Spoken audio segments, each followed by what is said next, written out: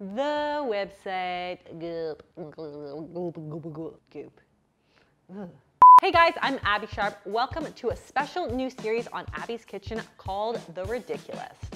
Now, this week's episode is brought to you by the quintessential minefield of bullshit, Goop.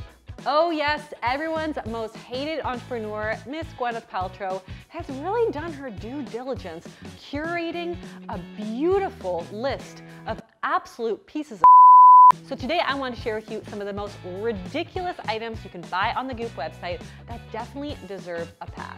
Let's do this. Okay, so first up on the Ridiculist is this chlorella powder by Sun Potion. So you're supposed to drink some water with a half a teaspoon of chlorella algae as part of your morning ritual, of course. Um, and apparently what it can do is activate your brain, nourish your organs, support digestive cycles. That sounds pretty legit. And uh, this is gonna cost you about 35 bucks per 100 grams. So let's talk about chlorella. So chlorella is a single-celled freshwater green algae, which sounds pretty healthy right off the bat because we got green in there and we all know green things are good for us. Um, but a lot of people see this as a superfood because it's got protein, it's got omega-3s, iron, vitamin B12, vitamin C, all the good stuff going on. But the research on chlorella when it comes to health is definitely super early and preliminary. So early research suggests that it might help with immunity, maybe preventing chronic diseases, possibly even lowering cholesterol. However, it's pretty much impossible to know how much chlorella you would actually need to consume in order to see any of these benefits. It's also worth noting that while the FDA has deemed chlorella as generally recognized as safe, a lot of people do complain that it causes some digestive issues and kind of upset stomach and all that kind of jazz. So it doesn't necessarily mean that there's no side effects effects. Also, we should probably make it known that nutritional supplements are not very well regulated. So it's really hard to know the nutrition content of the chlorella because it could depend on the species and the processing. So bottom line, while there's not a whole lot of harm in taking a chlorella supplement, for the $35 price tag, I'd say you can get a lot more bang for your buck. I mean, come on, you could get a really good quality bottle of wine. And hey, there's antioxidants there too. So that's probably what I'd be going for. Number two on the Ridiculist is the amethyst bottle. So this is 84 bucks for a bottle of Lord knows what this is. Apparently it's an amethyst crystal in a bottle that infuses the water with positive energy. And apparently amethyst is thought to help transform negative energy and enhance psychic abilities. Mmm. I am feeling like my credit card bill is gonna be really, really big this month because it's 84 dollars. You know, I was at the beach this summer and my kid put a rock in a bucket of water and I should have sold that for like 84 bucks and taken a tip out of Miss Gwyneth Paltrow's hat.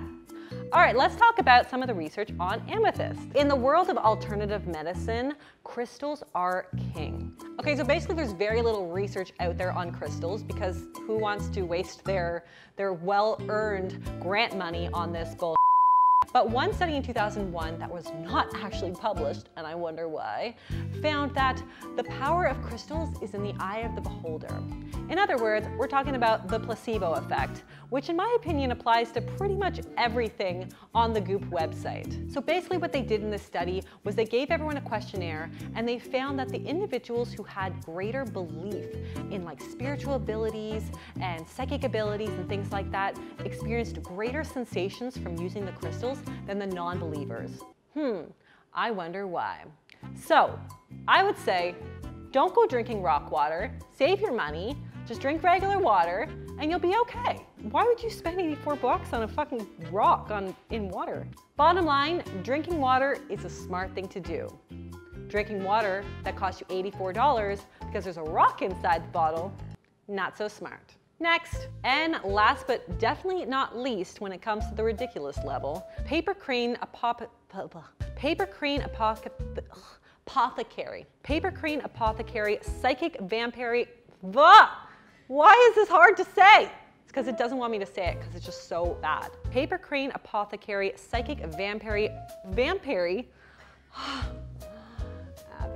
Not coffee. And last but definitely not least when it comes to the ridiculous level, paper crane, apothecary, psychic, vampire, repellent, protection mist.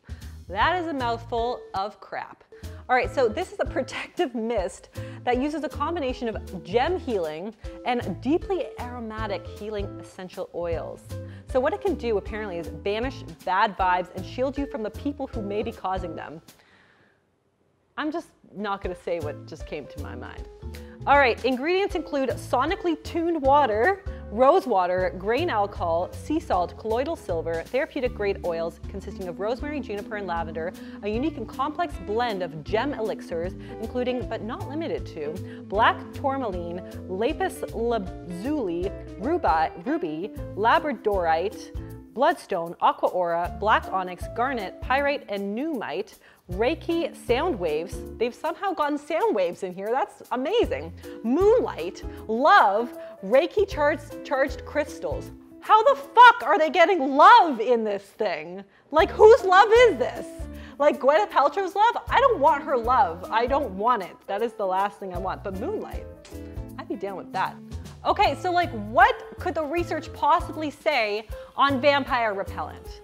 Well, let me tell you folks, not much. So I don't actually know what this vampire repellent smells like, uh, partially because A, it costs $27 and I don't have $27 to spend uh, trying to get rid of the vampires in my life.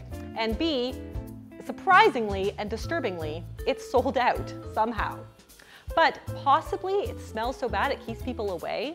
So I guess what I'll give you is that essential oils can help regulate moods in some way, so maybe that helps to banish the bad vibes. But vampires? No. Bottom line, the only reason I would spend $27 on this stuff is to banish the bad vibes that Gwyneth Paltrow keeps hurling at us via Goop.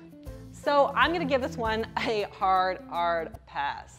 So guys, I hope you enjoyed this edition of The Ridiculist. If you did, be sure to give it the thumbs up. Leave me a comment below with any ridiculous things and products you have seen on the internet. I would love to hear about them. Don't forget to subscribe to the channel and I will see you next time on Abbey's Kitchen. Bye!